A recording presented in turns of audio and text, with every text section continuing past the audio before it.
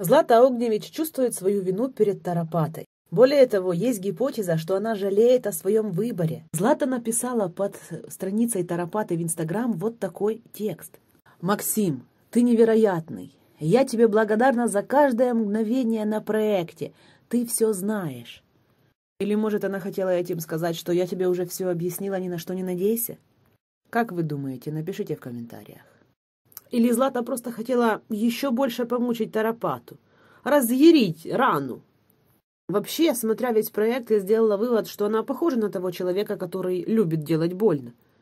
Она показала парням видео, как она ходит на свидания с разными парнями. И вообще, почему бывших возвращают? Почему Злата вернулась в Вичкаренко?